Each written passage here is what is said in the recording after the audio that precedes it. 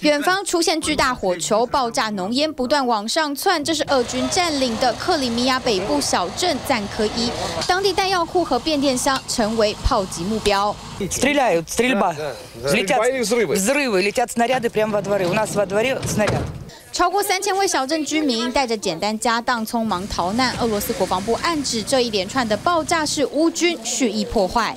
is not only their incorporation of new technology from the beginning of this campaign when they first started getting Javelin and Stinger missiles to now when they have HIMARS and MLRS and they're countering uh, Russian uh, counter or they're they're countering Russian fire. 是否攻击克里米亚？乌克兰军方没有正面承认，只是不断传出爆炸事件，显示乌克兰正积极展开反攻，而且也有能力深入俄军占领的土地。 Прошу зараз усіх наших людей в Криму, в інших регіонах на півдні держави, в окупованих районах Донбасу. 以哈尔逊，不得дуже уважно，будь ласка。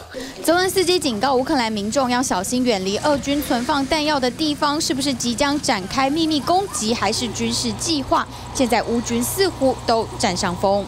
And they're brilliantly conducting this campaign because they're focusing primarily on logistics and supply lines, which is damaging the uh, the Russian capability to fire.